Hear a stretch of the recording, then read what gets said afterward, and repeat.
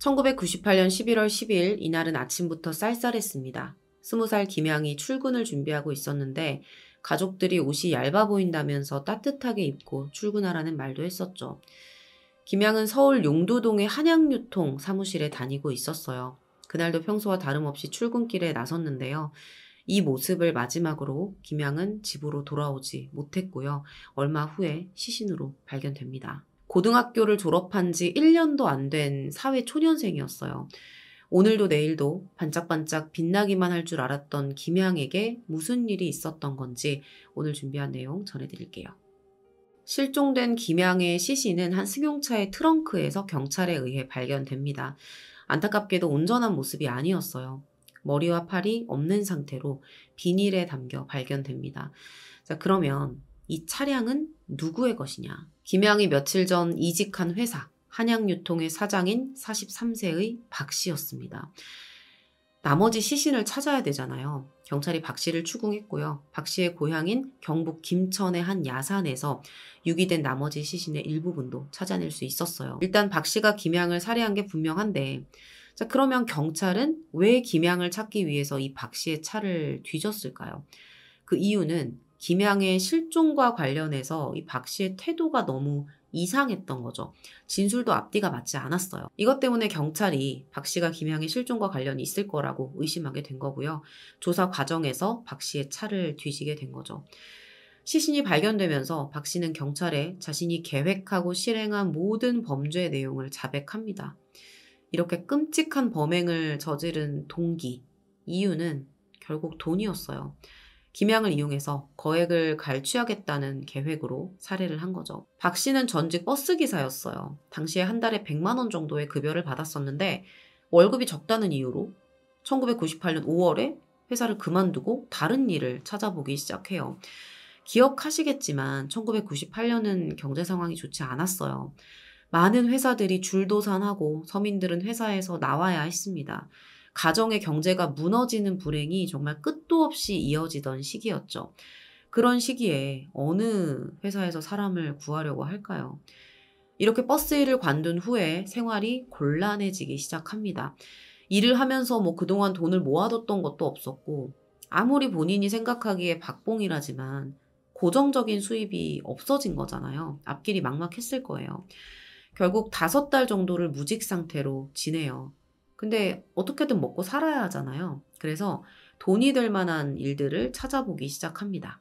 그러다가 우연히 TV에서 한 방송 프로그램을 봤는데 사람을 죽이고 보험금을 타내는 그런 내용이 나왔던 거예요. 그걸 보고 아, 저거다 싶었던 거죠. 그렇게 해서는 안 될 짓을 계획합니다. 어, 취업할 때 제출하는 재정 보증이라는 게 있는데 이 재정 보증을 이용한 범죄를 계획했어요. 재정 보증이 뭐냐면 상거래 내지는 중요한 재정 사무를 맡은 사람이 업무 중에 뭐 손해를 끼쳤을 때 그에 대한 신속한 보상을 위한 조처를 하기 위해서 보증을 하는 걸 말합니다.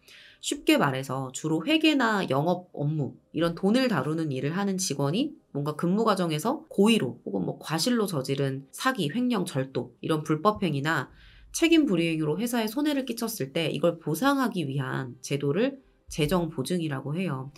요즘에는 보험사를 통해서 재정 보증을 하는 경우가 많은데요. 옛날에는 뭐 가족이나 가까운 사람이 재정 보증을 서줬다고 합니다. 박 씨가 이런 재정 보증 제도를 이용한 범죄를 계획한 거예요. 일단 박 씨는 98년 10월 22일에 서울 용도동에 있는 빌딩 3층에 값싼 사무실을 하나 빌립니다. 여기에 회사를 차려요. 한양유통. 범죄를 위한 유령 회사죠. 그리고 사람들이 많이 보는 생활정보지에 구인 광고를 냅니다. 격리 직원 구합니다. 이렇게. 11월 3일에 이 구인 광고를 보고 찾아온 사람이 바로 사망한 피해자 20살의 김양이었습니다. 김양이 실업계 고등학교를 졸업하고 다른 회사에 취업을 해서 다니고 있었는데 경기가 어려워지면서 취업한 회사도 상황이 되게 안 좋아진 거예요. 결국 여기서 월급이 한 6개월 정도가 밀렸대요. 아버지하고 함께 집에다 생활비를 대고 있었기 때문에 월급이 들어오지 않으면 생활하는 게 힘들었습니다. 결국 그 직장을 관두고 계속 이제 새로운 직장을 알아보고 있었던 중이었거든요. 근데 경기가 어렵잖아요. 이직이 쉽지 않았던 거예요. 그렇게 여러 곳 면접을 봤지만 다 떨어지면서 마음고생이 심했대요. 그러던 차에 이 생활 정보지에 올라와 있었던 한양유통의 구인 광고를 보고 지원하게 된 거죠. 박 씨는 계획대로 김양을 격리 직원으로 고용했어요. 김양은 아무것도 몰랐죠. 내가 어떤 이런 범죄의 대상으로 고용이 된 건지 몰라요. 열심히 일만 했습니다. 취직한 것 자체에 너무 행복해 했어요. 낡고 조그만 사무실에 사장 한 명, 뭐 직원도 자기 한 명뿐이었지만 가족들에게 취업이 된 걸 막 자랑하면서 좋아했었다고 해요. 박 씨는 자신의 범죄 계획을 이루기 위해서 김양에게 재정 보증을 세우라는 조건을 내세웁니다. 자신의 회사가 유통회사다 보니까 거금이 오고 가고 뭐 현금을 취급하는 일이 많아서 재정 보증을 세워야 한다고 이야기를 했던 거죠. 그래서 김양의 부모가 딸로 인해 회사에 금전 사고가 발생할 경우 책임을 진다. 라는 내용으로 이렇게 2천만 원짜리 재정보증 각서를 작성하고 여기에 도장까지 찍어요. 설마 뭐 그런 일이 있겠나 생각을 했겠죠. 이렇게 김양의 부모에게 재정 보증서까지 받은 박 씨는 자신이 계획한 끔찍한 범행을 실행하기로 합니다. 98년 11월 10일 오후 2시에 박 씨가 김양에게 지방에 수금하러 갈 일 있는데 같이 가자. 이렇게 얘기를 해요. 수금은 본인 혼자 하면 되는데 굳이 사무실에 있는 나까지 데려갈 필요가 있을까? 뭐 라는 생각도 했었겠죠. 그래도 이제 어렵게 잡은 직장이고 이걸 거절하기는 어려웠을 겁니다. 결국 박 씨의 차를 타게 됐을 거고요. 오후 6시경 박 씨의 차는 경북 김천에 도착해요. 그는 차를 김천군 대덕면 야산 옆에 있는 인적 없는 국도에 세웁니다. 자, 여기 김천이 박 씨 고향이에요. 아마 이런 인적 드문 곳이 있다는 것도 박 씨는 알고 있었을 겁니다. 수금을 하러 왔다는데 왜 이런 데다가 사람도 없는데 차를 세울까? 박 씨의 태도에서 김양은 이미 수상한 낌새를 눈치챘고요. 달아나려고 했었는데 이미 늦었죠. 박 씨가 김양의 입을 틀어막고 목을 조르기 시작했어요. 격렬하게 반항했지만 소용없었습니다. 결국 이렇게 김양은 사망하게 돼요. 자, 근데 범행이 여기서 끝이 아니었어요. 박 씨가 쇠톱을 준비해 왔거든요. 이 쇠톱으로 차마 말로 할 수 없는 뒤처리를 하기 시작합니다. 이후에 신원을 확인할 수 있는 머리 부분과 양손은 야산에 묻었고요. 나머지 몸통 다리 부분을 다른 곳에 유기하려고 비닐에 감아서 자동차 트렁크에 실어놔요. 그렇게 범행을 마친 박 씨는 김양의 시신 일부를 차에 싣고 서울로 올라옵니다. 그리고 경찰에 신고를 하죠. 격리사원으로 고용한 김양이 책상 서랍에 넣어둔 회사 공금 2,150만 원을 갖고 사라졌다는 거짓 신고였습니다. 한편 퇴근하고 집에 돌아와야 할 시간에 김영이 돌아오질 않으니까 이제 가족들이 막 걱정을 하면서 기다리고 있었어요. 재취업을 한 지 얼마 안 됐으니까 뭔가 회식을 한다거나 업무를 익히려고 야근을 할 수도 있겠구나 뭐 이렇게 생각을 했는데 자정이 지나도 정말 연락 한 통 없이 돌아오지 않았던 거죠. 5분 간격으로 전화를 해봤지만 받지 않았습니다. 평소에도 사실 집에 늦게 들어오는 일은 거의 없는 어, 딸이기도 했고 늦는 날에는 꼭 전화를 했었거든요. 게다가 그날 오후 5시경에는 언니에게 휴대폰으로 전화를 걸어서 일이 곧 끝나고 집에 간다. 뭐 이런 이야기도 했었다고 합니다. 김양의 부모는 날이 밝자마자 경찰서에 실종 신고를 하러 갈 준비를 합니다. 그런데 갑자기 집으로 전화가 한 통 걸려와요. 경찰이었어요. 그리고 황당한 이야기를 합니다. 김양이 회사 돈 2,150만 원을 갖고 도망갔다는 거죠. 가족들은 믿을 수가 없었어요. 평소에 성실하고 성품 좋고 학교에 다니면서도 사고 한 번 친 적 없는 착한 딸이었거든요. 그런데 그런 딸이 회사 공금을 2천만 원 이상 가지고 도망쳤다는 걸 믿을 수가 있을까요? 그리고 그런 큰 돈이 필요할 만한 일도 없었습니다. 어쨌든 전화를 받고 김양의 부모가 경찰서에 갔는데 여기에 이제 김양이 취업한 회사의 사장인 박 씨도 와 있었어요. 뻔뻔하게. 박 씨는 김양의 부모에게 김양이 책상 서랍에 넣어둔 공금을 가지고 도망쳤다면서 2천만 원짜리 재정보증 서류에 도장을 찍었으니까 빨리 나한테 2천만 원을 물어내라. 이렇게 계속해서 화를 냅니다. 당장 딸은 어디에 갔는지도 모르고 회사 사장은 내 딸이 돈을 훔쳐갔다고 말을 하면서 돈을 내놓으라고 하는 이러지도 저러지도 못하는 상황에 처했던 거죠. 그런데요, 김 씨의 가족들은 사장 박 씨의 주장을 믿을 수가 없었어요. 딸은 남의 돈에 손을 댈 만한 사람이 절대 아니었거든요. 거기다가 그동안 계속 일자리를 알아보고 면접도 보면서 정말 어렵게 겨우겨우 회사에 들어간 건데 이렇게 어렵게 취업을 해서 거액을 며칠 만에 횡령한다? 그런 어리석은 선택을 할 리가 없죠. 월급을 받아서 가족들에게 보탬이 되겠다면서 의욕적으로 출근하던 모습이 가족들 눈에 선했습니다. 경찰 입장에서는 출근 3일차였던 김양이 사라진 게 가족들 주장처럼 실종인지 혹은 박 씨의 주장처럼 횡령 후 가출을 한 건지 알아내는 게 중요하겠죠. 그걸 판단하기 위해서는 일단 신고자인 박 씨가 진술하는 내용들이 중요할 겁니다. 경찰은 일단 신고자 박 씨의 진술을 토대로 수사를 시작해요.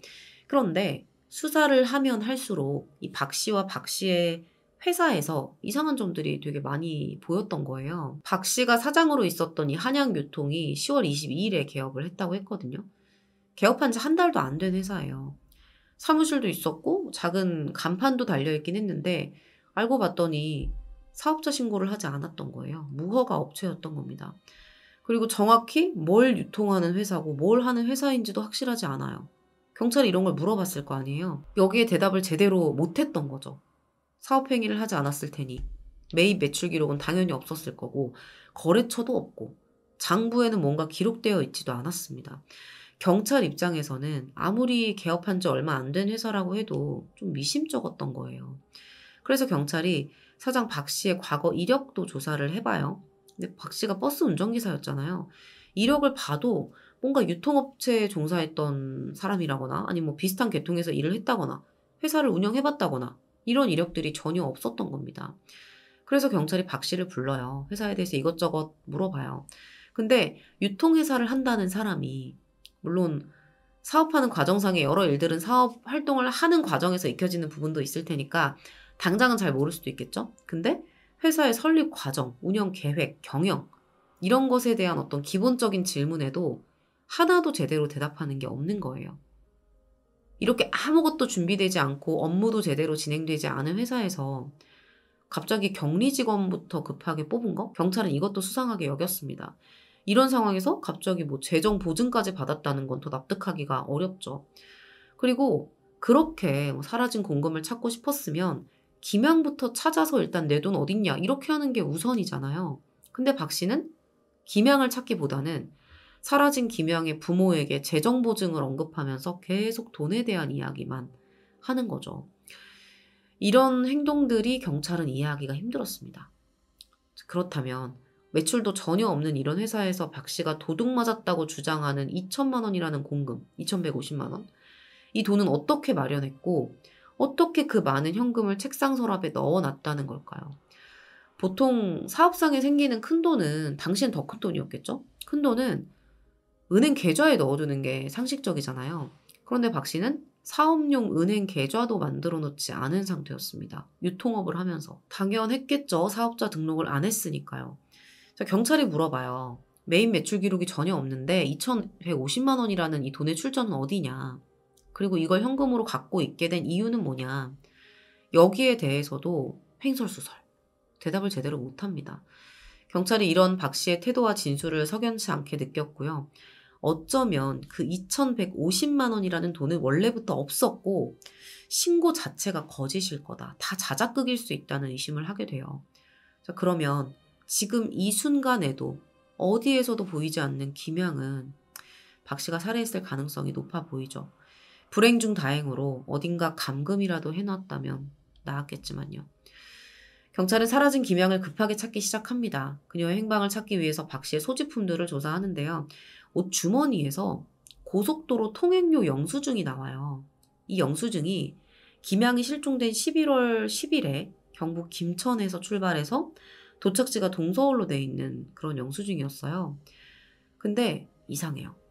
박 씨가 경찰에 김양이 제 돈을 갖고 튀었습니다. 뭐 이렇게 신고를 했을 때 경찰은 김양이 실종될 때 박 씨가 뭘 하고 있었냐 이렇게 질문을 했었거든요. 그때 박 씨는 뭐라 그랬냐면 저는 그날 오후 내내 회사에 있었습니다. 이렇게 말을 해요. 근데 이게 거짓말이었던 거죠. 고속도로 영수증을 보면. 당시 상황에 대해서 굳이 거짓말을 해야 할 이유가 있을까요? 없죠. 이렇게 진술과는 달리 김천에 갔다 온 게 확인이 된 겁니다. 경찰은 이 고속도로 통행료 영수증을 보고 김양이 살아있을 가능성이 높지 않다고 판단을 했대요.